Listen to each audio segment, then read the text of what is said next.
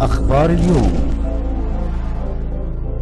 أنا ببارك لكل زمايلي العظام آه، وبشكر آه، عم أحمد السوقي عشان ما بعرفش أقول أستاذ.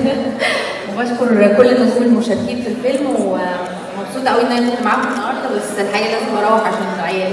على اذنكم ميرسي.